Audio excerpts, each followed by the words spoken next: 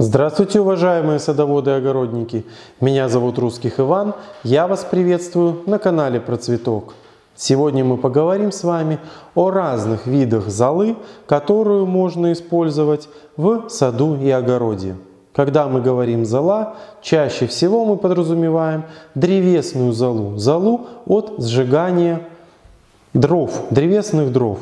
Она является самой распространенной золой, которая используется на участке – достаточно хорошо уже все знают, и у нас есть несколько выпусков об этом на канале про цветок, что зола является щелочным известковым удобрением. Она содержит значительное количество кальция и нейтрализует избыточную кислотность почвы. Кроме того, она содержит и калий в виде карбоната. Поэтому она также, благодаря этому, подщелачивает почву и обогащает ее калием количество вносимой древесной золы должно быть не более полукилограмма на квадратный метр. Ее лучше всего не переборщить. Почему? Особенно на посадках картофеля. Дело в том, что картофель, выращиваемый на почве слишком богатой кальцием и известковыми материалами, очень склонен к заболеванию паршой. Именно поэтому часто можно услышать жалобы, что внес золу, внес доломитку, внес мел, внес известь, и вся картошка паршивая, вся заболела. Так оно и есть.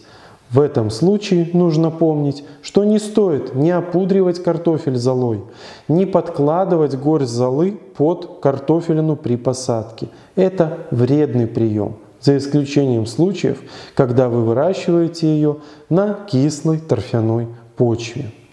Существует много способов использования древесной золы, не связанных с непосредственно нейтрализацией излишней кислотности почвы. Например, опудривание древесной золой по мокрым листочкам, по влажным листочкам капустных растений, таких как редис, редька, репа, капуста и другие, спасает эти растения от нашествия листобложки. Было замечено, что листобложка очень не любит опудренные такие вот грязные листья.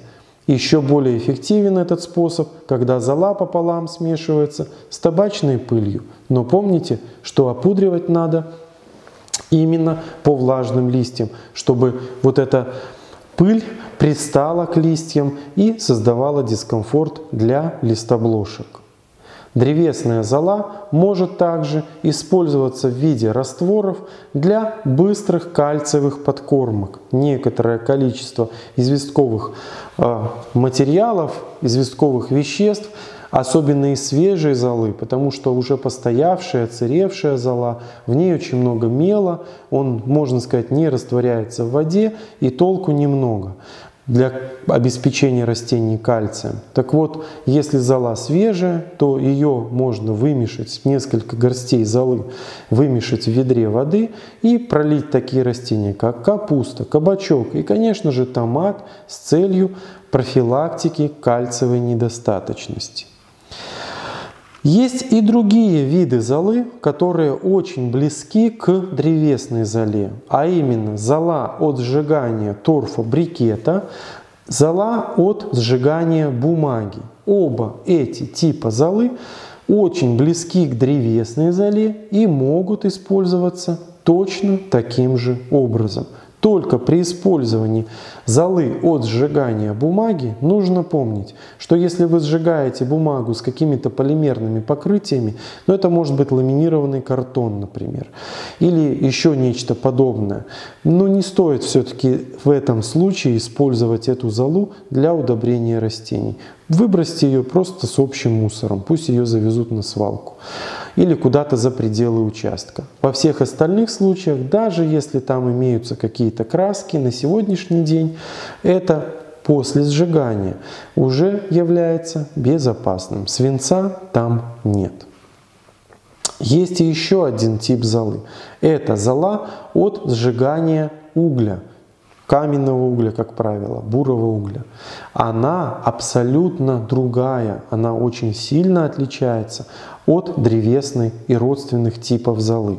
Самым главным отличием э, угольной такой золы является то, что она содержит значительное количество сульфатов. Древесная – карбонатов, а угольная – сульфатов. Сульфаты золы придают ей кислую реакцию. В этой связи угольную золу от сжигания каменного угля следует использовать на почвах излишне щелочных, либо на картофельных полях, где бушует парша.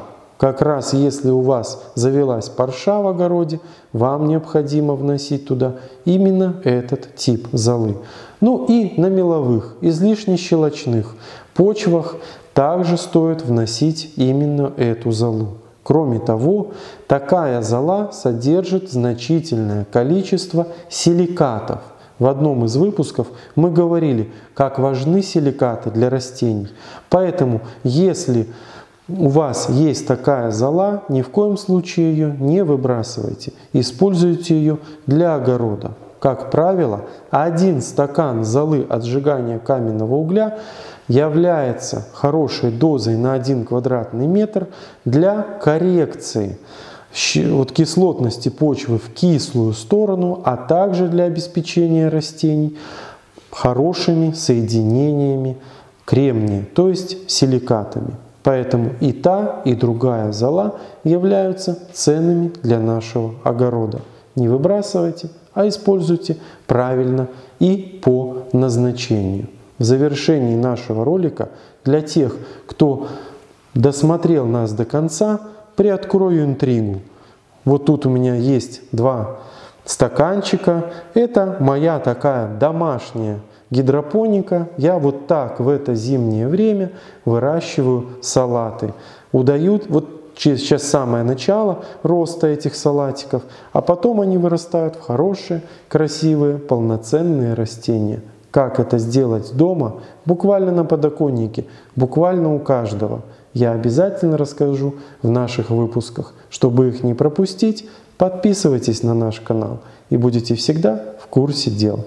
На этом я прощаюсь с вами. Всего хорошего.